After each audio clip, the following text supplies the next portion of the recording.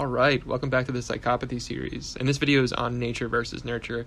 And I'll, I'll spoil the video now. I'm not going to give you a, a, conclusive answer. But what I will do is go into the biological correlates of psychopathy and then also go into some of the developmental aspects of psychopathy. So to start, I think nature versus nurture does a bad job of capturing the language of how genes and the environment interact. I think there's something satisfying about asking questions like are psychopaths made or are they born? But unfortunately, like most things in psychology, these things are so complex and they never have straightforward answers. So nature and nurture aren't these two mutually exclusive entities.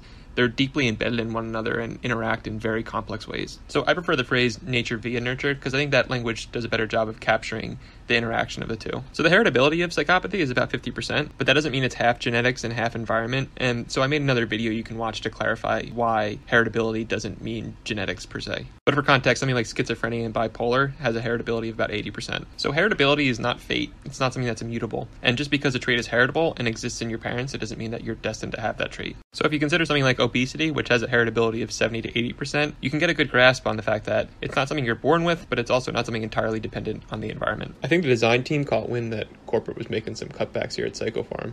They really stepped up their game here. Normally I find the yin yang just a little, I don't know, tacky. But here I think it's, it's pretty classy in this context. So let's get started on the nature side of things. So while the idea that there's a criminal gene is complete nonsense, there is growing evidence that psychopathic behavior does have some grounding in genetics and biology. Anyone who's had multiple kids that infants just differ in temperament. Sometimes they're chill, sometimes they're difficult, and it can be the exact same household. So, temperamentally, psychopaths are known to differ in their constitutional aggressivity. So, some of those areas include their activity level, their aggressiveness, their reactivity, their consolability, um, and other factors that tilt them towards being a little bit more aggressive. So, next, I want to go into the biochemical and genetic predispositions that increase your susceptibility to psychopathy. So, one thing I really want to emphasize is that if you have one of these genes, it doesn't make you a psychopath. If you have every single gene that is correlated to psychopathy, it doesn't mean you're going to be a psychopath. It just means that you have an increased susceptibility compared to someone who didn't have that gene. So the first is variation in monoamine oxidase A, and that enzyme is responsible for breaking down neurotransmitters. It acts non-specifically on norepinephrine, serotonin, and dopamine. So if someone had a low expression variant, you'd expect them to have higher levels of those monoamine transmitters. So it's been found that people who have that variation are more likely to develop violent and antisocial patterns of behavior. Next is a variant in BDNF that causes it to be less active. So BDNF is a protein that is made by neurons and glial cells, and it promotes the growth and activity of brain cells. It's almost like the miracle growth of the brain. So individuals who have this genetic variant have less cortical thickness, and it's believed they do a poorer job of just cognitive processing in general, and especially in the prefrontal cortex that's responsible for making moral judgments. The next one is that some abnormalities in receptor systems is linked to psychopathy. So for example, it's known that variations in the serotonin transporter yields different traits and susceptibilities. So one example is 5-HTTP-LPR, which is a long allele for the serotonin transporter. It's known to be protective against internalizing disorders, but it also may cause an increased susceptibility to psychopathy. And also, there's some evidence that dysregulation of the endogenous opioid system is linked to an increased susceptibility. And lastly, it's known that high levels of testosterone and low levels of cortisol are linked to psychopathy. And this makes sense because testosterone is involved in approach related behavior and reward sensitivity and fear reduction. So, next, I want to go into some of the neural changes that are known to occur in psychopathy. So, the first is that psychopaths have a remarkably low reactivity of their autonomic nervous system.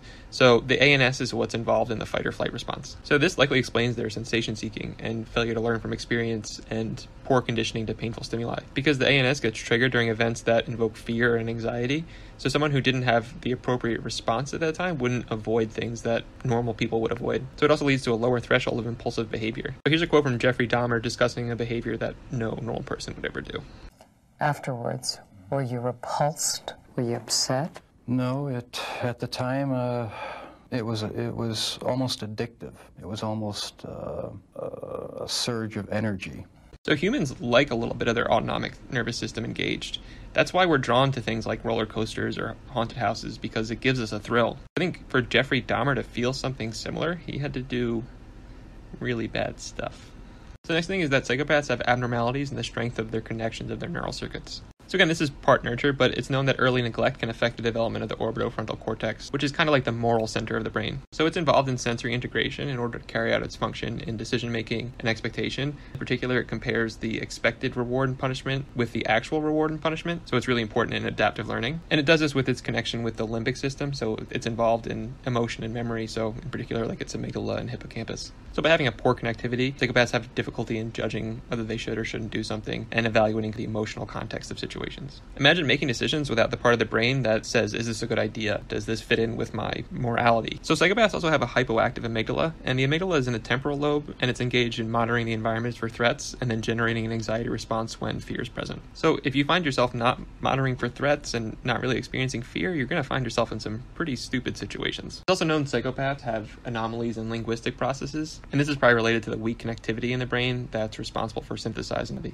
emotional context of things and the cognitive context of things. And there's also something called Hare's lateralization theory, and he believed that psychopaths differ in how they process the affective aspects of language, and he believed they had limited left hemispheric resources for processing linguistic stimuli. And he used this to explain why psychopaths have smaller physiological responses to emotional connotations of descriptive statements or pictures compared to non psychopaths. And again, I'm never terribly impressed with neural or biochemical interpretations of diagnoses like this. There's just too much variability person to person that not much can be said about any particular one gene or one neural deficit or one biochemical deficiency. So the thing I just want you to take away is that there are biochemical aspects to these diseases, but it's important not to use these things to develop a fatalistic attitude toward any one disease. There's just too much interaction between genetics and environment for any one genetic predisposition to be a sentence to becoming a psychopath. I just find that ascribing personality disorders to genetics or biochemistry can be abused and can be used to decrease empathy, whereas I find focus focusing on the developmental and the nurture aspect of things allows us to focus on things that can change and can be addressed by psychological and social interventions. So, next, let's go into the nurture aspect of things.